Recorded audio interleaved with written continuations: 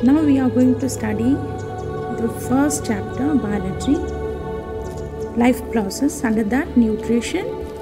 In that, we are going to study a small bit that is photosynthesis. Now, let me start with the video. Now, for photosynthesis, the main part is leaf.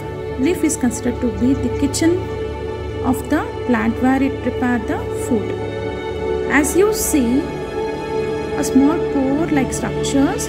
These structures are called stomata, which helps in exchange of gases. This is the pore.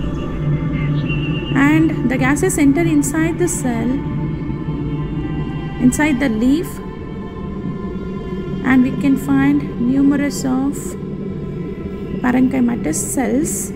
Along with that, we can find in a cell a photo photosynthetic structure called chloroplast. So, this is interior part of the cell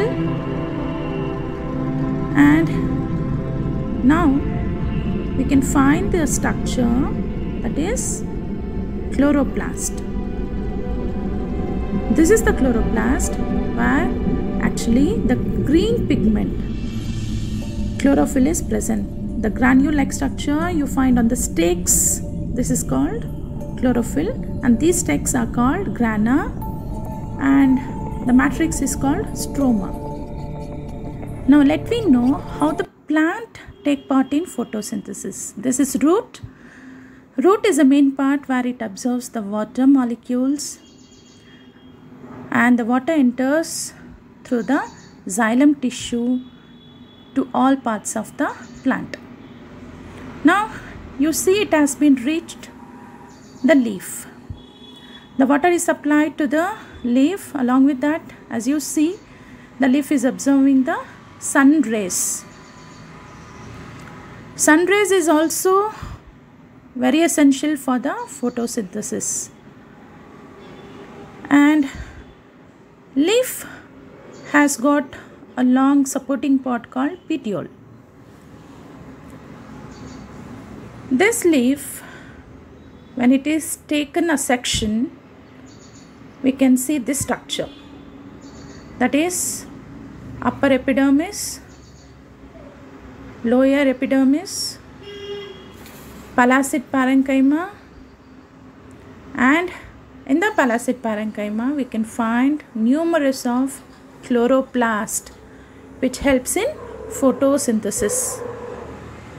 Along with that, spongy parenchyma loosely arranged, where it is very helpful for the exchange of gases. In the center, the vascular bundle has xylem, and xylem has got water, and that is supplied to the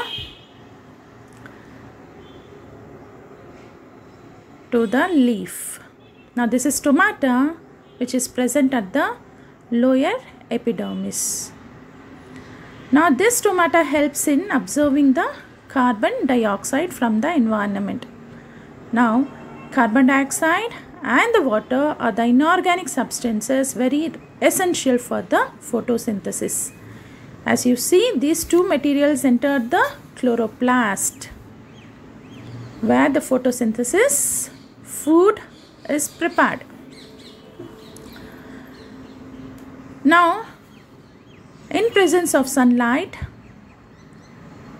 the chlorophyll pigment present on the stacks of chloroplast that is grana helps in photolysis of water the first step.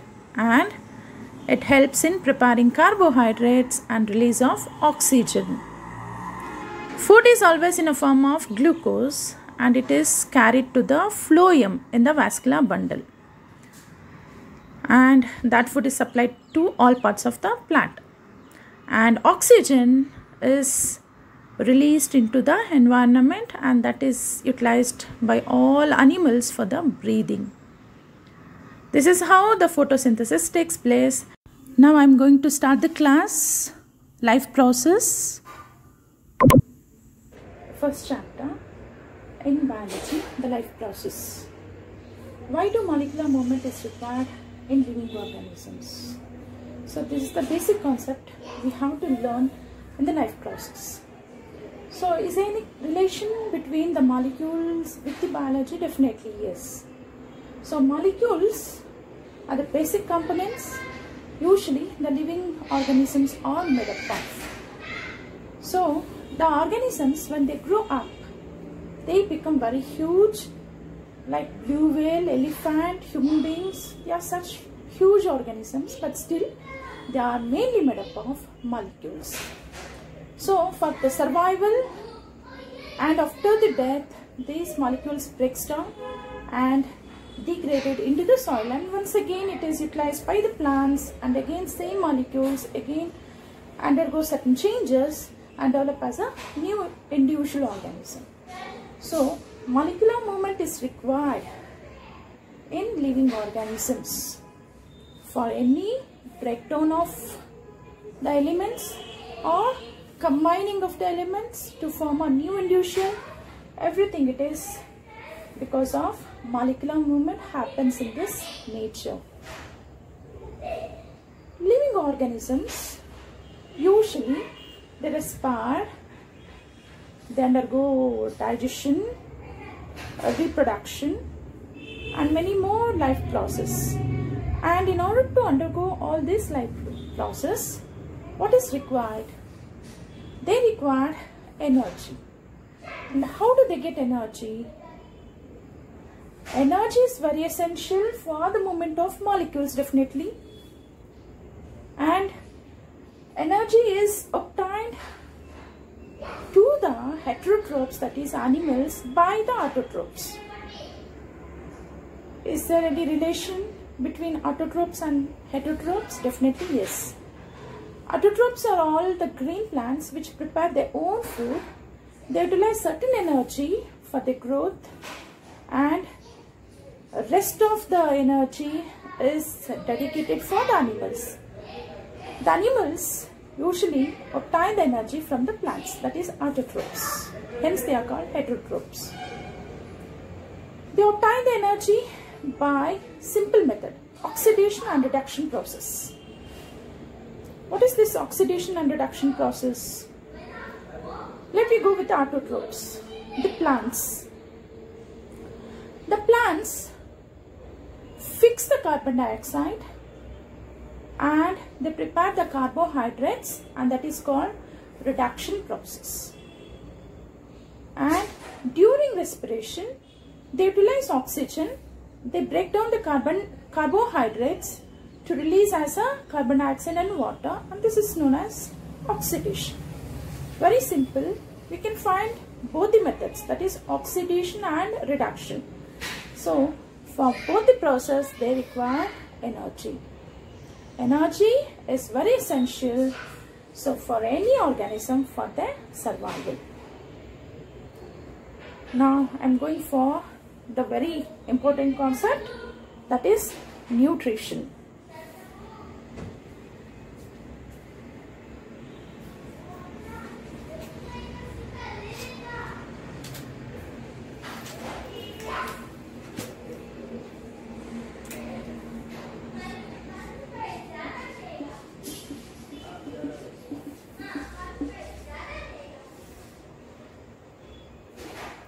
What is the nutrition?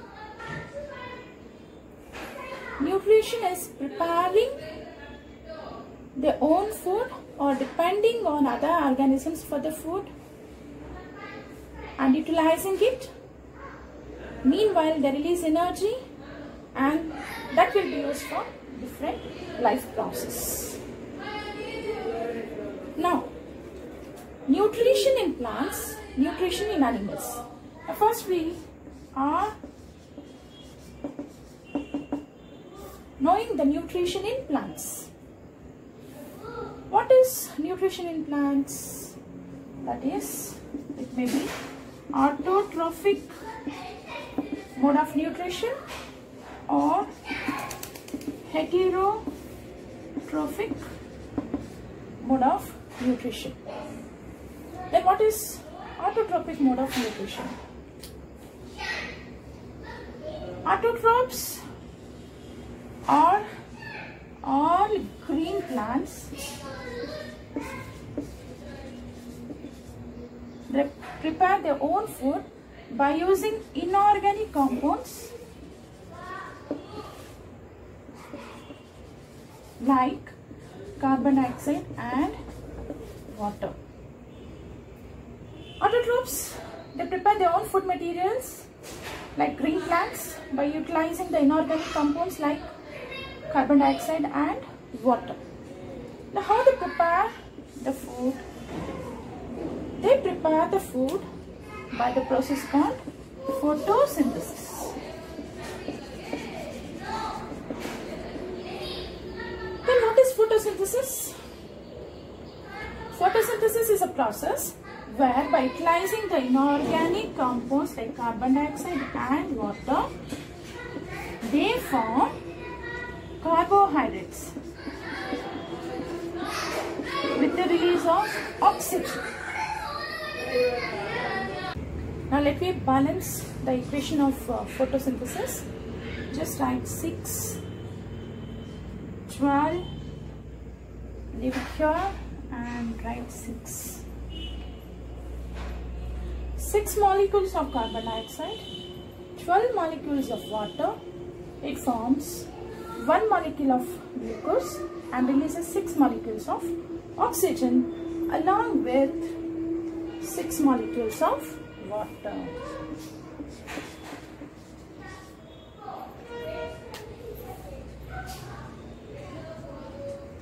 This is the photosynthesis equation. What happens in the photosynthesis? It takes place in three steps. How? The first step is, so using the solar energy. Now how the solar energy is utilized? By using chlorophyll pigment. By using chlorophyll pigment, the solar energy is absorbed by the green plants. So, usage of light energy or solar energy. And the next step is, by using the light energy, water molecules breaks down to form oxygen and hydrogen. So, how the oxygen is released? By photolysis of water.